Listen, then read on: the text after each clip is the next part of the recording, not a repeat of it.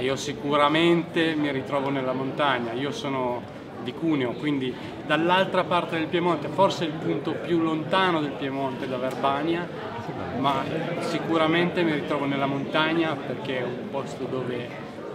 dove sono cresciuto e mi dà una grande gioia e quindi la montagna sicuramente.